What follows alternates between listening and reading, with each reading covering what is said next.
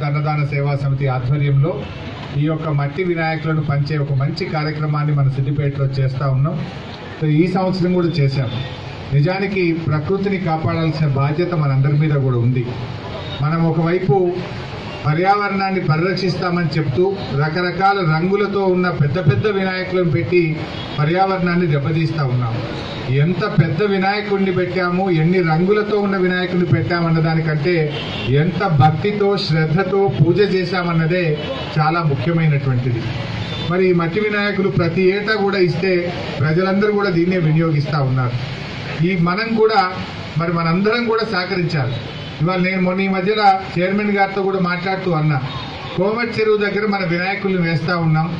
ఒకవైపు కోమటి చెరువును అద్భుతమైన పర్యాటక క్షేత్రంగా అభివృద్ధి చేస్తా ఉన్నాం. ఇటు ఎర్ర చెరువును అటు చింతల చెరువును ఇటు నర్సాపూర్ చెరువును కూడా అభివృద్ధి చేసుకున్నాం. మరి ఆ పర్యాటక క్షేత్రాన్ని రక్షిస్తూ అందరితో మాట్లాడి ఇంకో వైపు ఏదైనా చేయగలుగుతామా? దాన్ని కూడా ఆలోచన చేయాలని చెప్పాం. అల్టిమేట్గా మనం ఎంత మంచి పూజలు చేసినా ఏం చేసినా కూడా ప్రజలకు మేలు జరగాలి.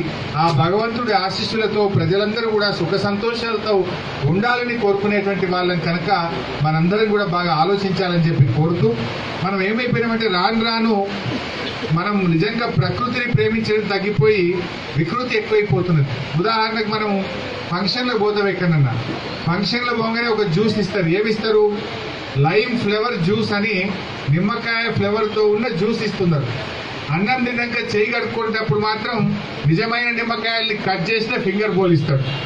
అసలు నిమ్మకాయలు ఏమో ఫింగర్ బోల్ అయిపోయినాయి. నిమ్మకాయ ఫ్లేవర్ ఉండేటువంటి ఆర్టిఫిషియల్ జ్యూస్ మాత్రం తాగడానికి వస్తున్నది. అంటే ఎటు మారుతున్నాం మనం అనేది వాళ్ళు ఆలోచించాల్సిన అవసరం ఉంది. ఈ వీడియో నచ్చితే ఓ లైక్ కొట్టండి. లేకపోతే కామెంట్ చేయండి. బట్ సబ్స్క్రైబ్ చేయడం మాత్రం మర్చిపోకండి.